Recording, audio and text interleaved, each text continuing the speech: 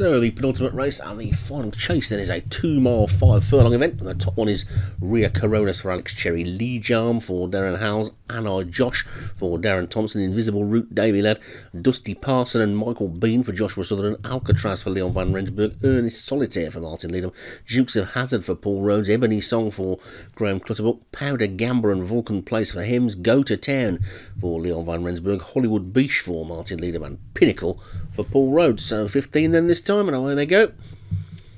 Towards the first over the fences, and Dusty Parson, the first to show as they take the water jump. And they're all over that one, okay, as they usually are, as they always are actually. And Dusty Parson is in the lead then from Michael Bean, so the Sutherland pair are disputing the lead at the moment.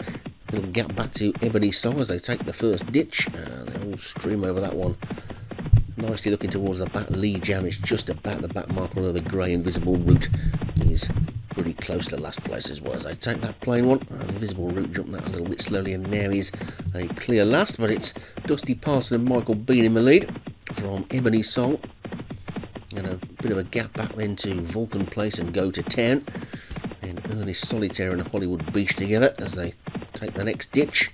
And as a faller there, as a faller, go to town's gone. So Leon Van Rensburg has won every race so far, I think, on the jump in. He's also had two fallers.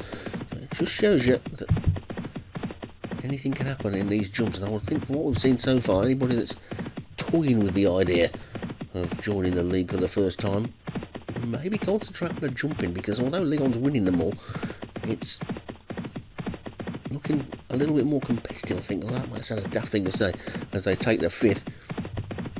Definitely think it's more, it's easier to get into the jumping side of things. It's and also anything can happen. You'll fall over and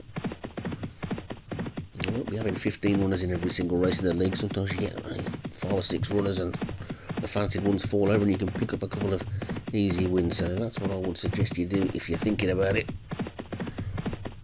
I think the national hunt side of things looks a little bit more accessible to everybody so far this season. They take number six then. Over that one again. I'll stop waffling and get on with commentating. And Michael Bean and Dusty Parson in the lead. From Ebony Song in third, and Vulcan Place is fourth. Hollywood Beach is going well in fifth. They're pretty well strung out the leading group. Uh, gap then to Powder Gambler and Ernest Solitaire, and Alcatraz and Ria Coronas. Lee Jammers made a forward move as well as they take the eighth, and that's half the jumping done. And they're out on their final circuit now. Then Michael Bean continuing to lead from Dusty Parson. No idea who Michael Bean or Dusty Parson are. Ebony Song is third.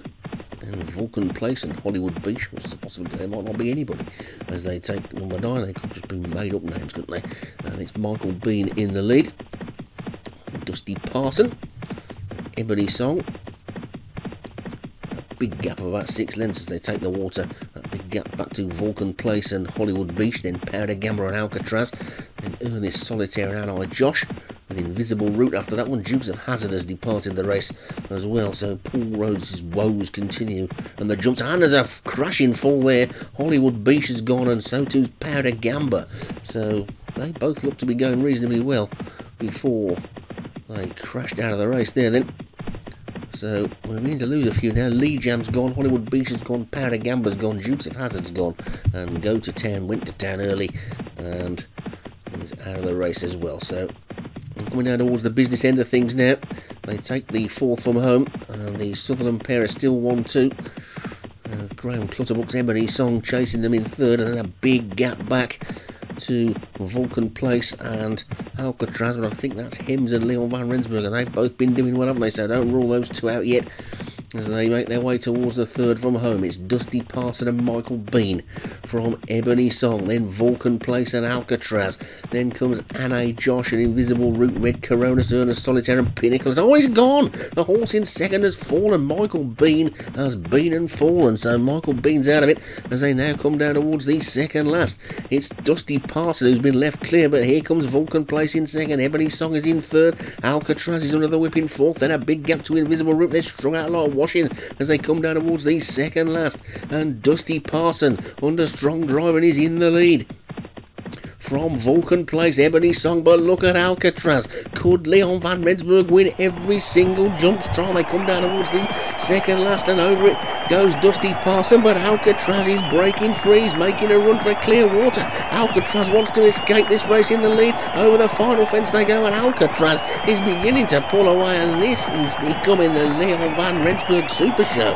Just racing up towards the line, Leon van Rensburg is going to win again. Alcatraz is going to take this one pretty cozily from Dusty Parson, who's run a big race in second. Vulcan places third, then came Emily On Invisible now Jash and Ria Coronas, Pinnacle, and finally Ernest Solitaire. They were the only ones to finish.